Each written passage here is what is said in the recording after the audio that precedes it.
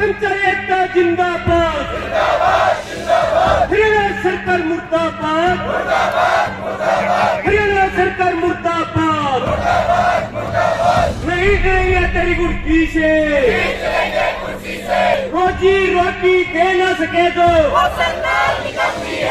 रोजी रोटी दे न सके दो जो सरकार निकम्मी है।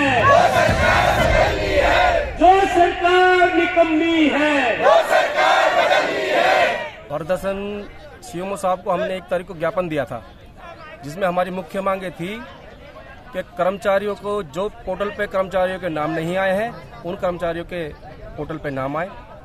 और जो कर्मचारियों की हमारी जो पोस्टें हैं वो पोस्टें पोर्टल पे शो नहीं कर रही वो पोस्टें शो करें। और पोर्ट- टोटल पे जो शो नहीं कर रही उनको दिखाया जाए। तो सीएमओ साहब को हमने ये दिया था। उसके बाद जो हमारे कर्मचारियों के मैसेज नहीं आ रहे थे वो मैसेज भी नहीं आए कर्मचारियों के। कुछ कर्मचारी हमारे जो इन्होंने एक्स्ट्रा कर, एक्स्ट्रा करके निकाल दिए अपनी तानाशाही से अपने चाहितों को लगा करके। कुछ कर्मचारी हमारे पहले इन्होंने निकाल दिए थे। उन कर्मचारियों के विषय में भी हमने बात की थी कि उन कर्मचारियों को भी ड्यूटी पर रखा जाए।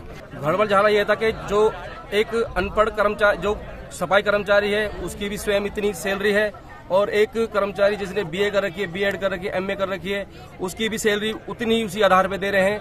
ना तो कोई योग्यता का आधार पर सैलरी दे रहे हैं और ना ही किसी प्रकार से कर्मचारी सैलरी संतुष्ट है। किसी की बारह हज़ार सैलरी में भी गड़बड़ है इनकी।